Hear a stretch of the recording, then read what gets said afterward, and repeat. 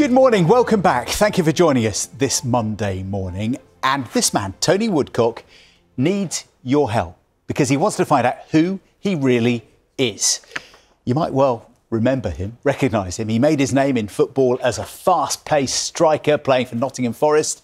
And for England in 1979, he went on to win the European Cup with Nottingham Forest, his hometown club. He also played in Germany, he signed for Arsenal, played in the 1982 World Cup for England. That is the public Tony Woodcock. Tony retired in 1990. This is him now. He's uh, 68.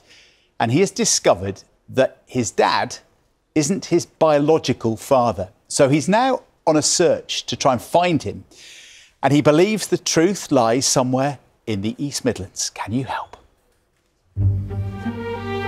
By all accounts, uh, he knew I was born. He must have known my surname or what my surname was going to be. So there's always that thought process that yes, did he follow football? Was he a football fan? He knew my name. Did he follow my so-called successes in football or not? And it's well bumped in by Woodcock. All on his own when he had the shot. Tony Woodcock was once a king amongst men for what he did with Forest, Arsenal, and England. Give on to Woodcock. Again a run in on the keeper. Now he's enlisting the help of people who discovered an actual king to help find his long lost father. For Woodcock to try and claim the opening goal now because then he would have a hat trick. Hi, Turi. Oh my goodness, it's so lovely to meet you. Are you face to face? Yeah, good to see you. Good to see you. Come on in. Okay, come.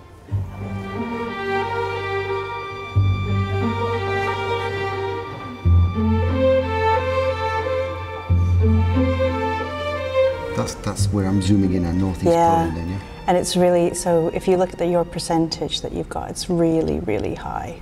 Well, Turi, she's the best in the business as far as I'm concerned. That's the reason I got in touch with her. So I said, well, we've got certain tidbits of information. You know, we know the name, we know where he worked, we know roughly he came in from Poland. We think he was in the war. He was studying to be a doctor in the early years. You know, this is not a rush job. It's got to be done next week. It may take a few years, but it's important. It's important for my family that we know where I come from. Northern Poland, you could get matches. He knows bits and pieces, like his biological father was named Peter. He was the head dyer at Giltbrook, so he, we know a little bit about where he worked. We've gotten in touch with them. Do they have any records? Does anybody remember Peter?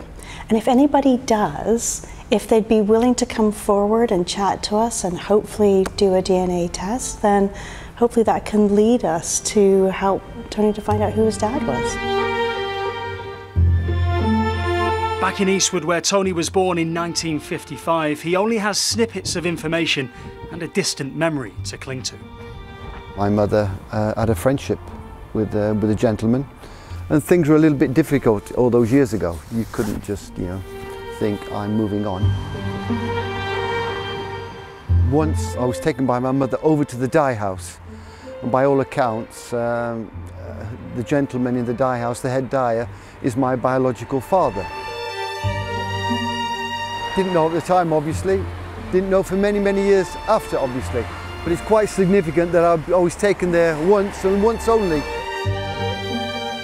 I just think it's so incredibly important for people to be able to find out where they're from. I think it's a bit of a right.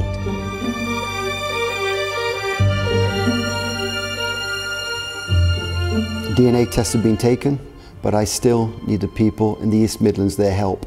Whether you come from Eastwood, Langley Mill, Kimberley, the outskirts of Nottingham, start looking deep into your memories and see if you can come up with any sort of information of what we've been chatting about. I need your help. Best of luck. Get in touch with the BBC if anyone's got the slightest piece of information. You never know that little nugget of info may be the key to unlocking the full story. I mean, there, there, there are interesting clues and information there that, that the dye works and Yeah. Polish Peter, potentially, that's his name.